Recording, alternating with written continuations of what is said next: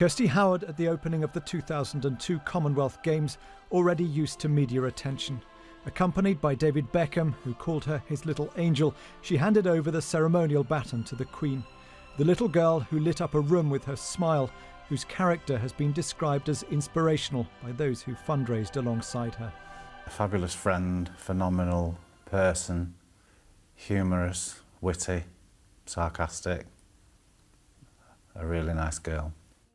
Kirsty was born with her heart back to front, an extremely rare and inoperable condition which meant she needed a constant supply of oxygen. Her parents were told that she would not live beyond her fourth birthday, but she set her mind to helping.